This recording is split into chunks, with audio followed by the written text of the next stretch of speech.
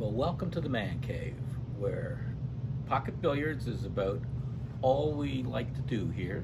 And obviously, we have a table, we're hanging out, and the game is really all about coordination and setup. It's not any different than golf. Uh, one of the things you've got to be very aware of is your stroke. Just like golf, where you swing, in pool, you stroke. You have a cue, often two piece.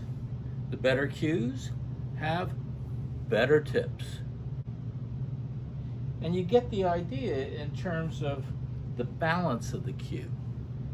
And really, what people have to learn about pool is the stroke, is the cue stroke. It's not your arms and your strength. It is the way you can deliver that shaft in a straight line to the cue ball with the right amount of rotation. Each time you put spin on the ball, you add another dimension of force into the shot. There is the force of the ball moving, there's also the force of the ball spinning. Those are the things that determine what's going to happen when the balls collide. This part of the stroke, your back arm, I'll move the camera so you get a better view of it.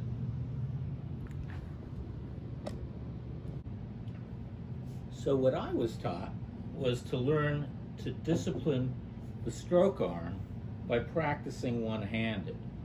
And really what you want to do is line up on the spot or the center of the table. Give yourself about seven or eight inches off the rail, but enough so that you can rest. And generally that's the distance, seven or eight inches for your hand, but don't even put your hand on the rail because this is about learning your right arm, in my case right-handed, how to stroke. And the idea here is to try to hit the ball dead center come down and come back to the tip and hit the tip of the cue, like that. Now, if you can do that repeatedly, you will find that you will have a much smoother stroke. And that's really the part that gets the accuracy and the consistency into the game. Yes, you can put your hand down, but the most important thing is to get the ability to roll back and forth and come. Now I'm going to grab a striped ball just so you can get a better view of that because this will allow you to see quite quickly whether or not you're straight. You line the ball up straight and you know you set yourself up to hit the ball and you can see I've already you know kind of got a little wobble to it not terrible but this is not easy and you have you can only practice this for a few minutes before you just say, "Oh man."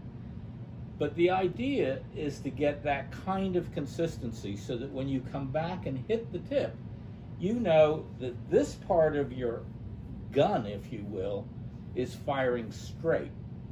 And then if you decide you want to learn how to do things in terms of English, you start working with understanding power and spin.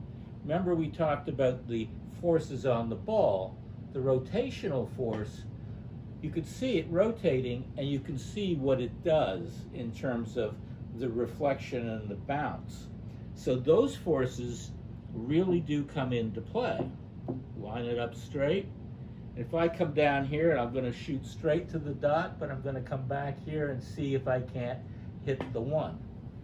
And you can see it works its way down and I've come all the way over just with a little English. The other thing about English, and let's sort of come down here and see if we can we can show you that in this setup. Just checking my watch to make sure. Um, and so what we're really talking about with the English side of things, and uh, let's just get a little more angle.